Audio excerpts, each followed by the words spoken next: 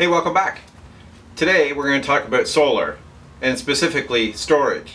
In the old days it was lead acid batteries and a lot of them. But today it can be lithium. Let's have a look.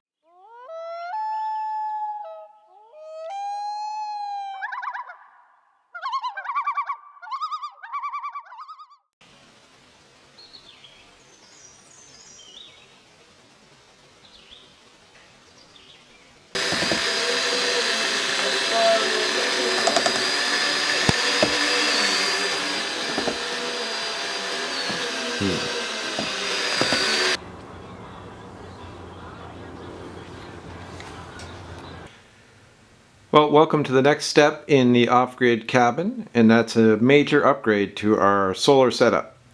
As some of you may know if you've been watching our videos up till now, we've been operating on a 100 watt panel and some leftover batteries that we found, and uh, that's been good enough for our water pump and our lighting, but uh, we want to get a refrigerator going, so we're embarking on an experiment here. In our case, we're using part of a battery pack from a Chevy Volt sometimes when these cars are in accidents and they can't be repaired, the battery pack is still intact and can be used for these kind of off-grid applications.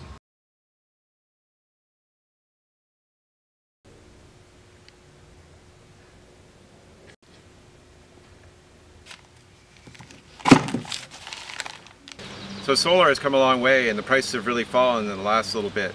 And one of the best developments that's happened is lithium for the battery storage. In the old days, you'd have huge uh, lead acid battery packs, but luckily now, much smaller packs can hold the same amount of energy and be of much better quality. And this is a star of the show.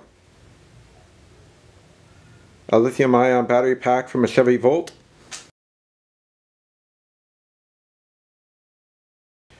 Right now I have the solar panels in the backyard here in the city. I'm just doing some testing and currently 126 volts. Because the system is going to be 48 volt, we got a 48 volt inverter.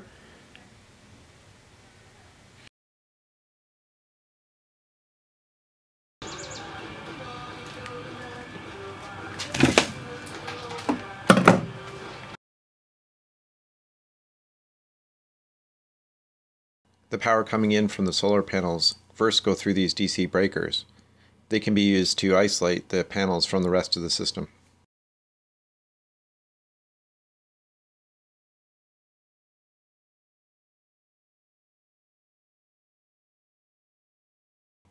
Keeping track of polarity is very important in these systems. I'm using colored tape and also writing the polarity on, right on the DC breaker box.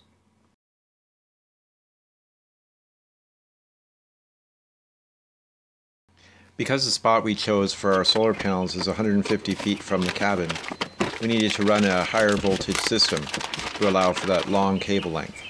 So we're using a 150 volt charge controller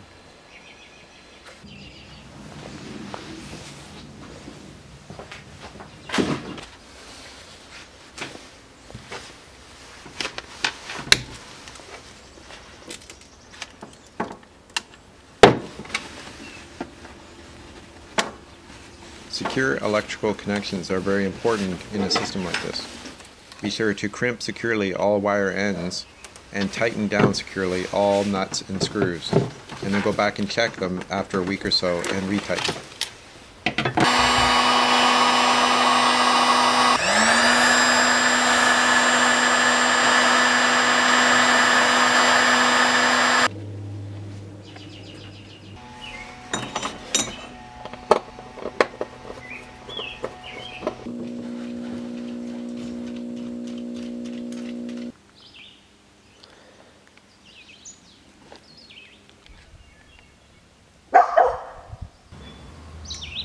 If you're interested in my two-axis solar ground mount, you can check out this card here, and there'll also be a link down in the notes.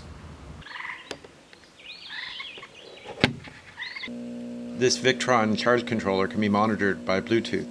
It's really an excellent way to use your smartphone to keep an eye on all your energy production.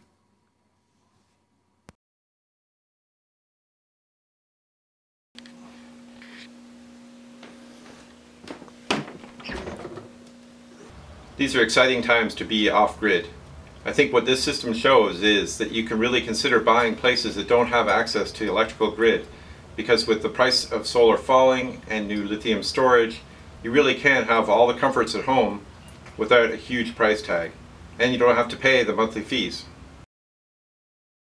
So we're in peak sun conditions here and the system is working great. We got refrigeration and our lighting and we're starting to add more stuff all the time. So until next time, we'll see you on Ontario Lakeside. I wanted to take a sec to thank our friends over at Bobolink Solar. Kelvin and Sue were instrumental in helping us figure out all the technical parts of this project.